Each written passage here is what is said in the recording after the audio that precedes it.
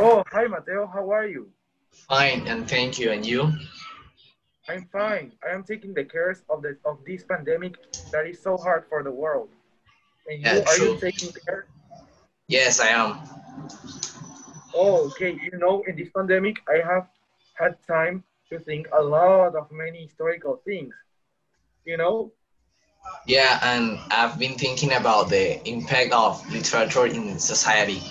That I think that literature is one of the oldest and most effective communicative and disseminating formats of culture and knowledge in history, acting as a record of it. Um, I think that it's very important the literature to like know oral cultures of other people or other countries because the authors of the books or something are like um, writing their ideas on or their point of views of many different topics. Oh, I know that in those times, they started the nonverbal literature that was from the very first Indians that lived in America. Also, I know about the author called Jonathan Edwards, and he did a book that I read in my school. Can you tell Yeah. me a little more about what you know? Yeah, this is about the Puritan movement in America, and as a question, as a as a consequence of the failure of the Puritan government, many of them left the country looking for other places with whether religion or freedom, um, such as Switzerland, Holland, South Africa, and mainly the English colonies in America. Um, the arrival of the Puritans in the English colonies of America was the opportunity to establish the kind of government that they would not establish in England. There were there there they would found the largest number of Puritan communities in America, forming much of the Oh. character of what would later become America. American Puritan has been execrated by America's cinema and literature.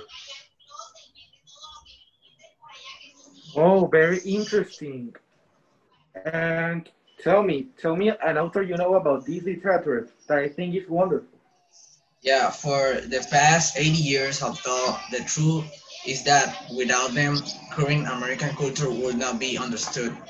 Americans were painfully aware of their excessive dependence on the model of English literature.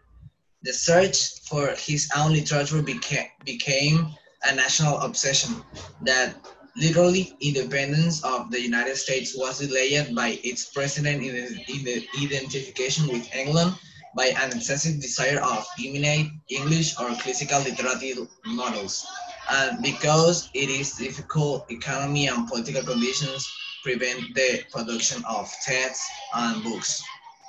Oh, now I'm happy because I know a little bit more about I understand. Oh, Mateo, now, now I'm happy because I know a little bit more about this early American literature. I think it's very important for the future generations and to the actual generation to know more about this early American literature because help us to have better values and to bloom with as a better generation in the future.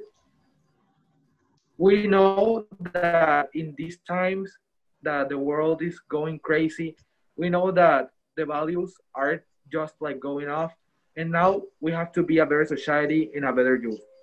Yeah, so I think it's important that people like you also know all the words about talk about the human being, about love, and hatred, passion, goodness, um, or vanity, for example. In every literary work, our greatest virtues and our worst defects will be reflected. Although social behaviors caused by this or that event and that is precisely the function of literature, remind us what we are and how we work. Oh, okay. Oh, Mateo, it was so good to talk to you. Now I have to say goodbye because I have to talk with my with my with my neighbors. Okay, Bye, thank Mateo. you. Was a pleasure to have you here. Bye.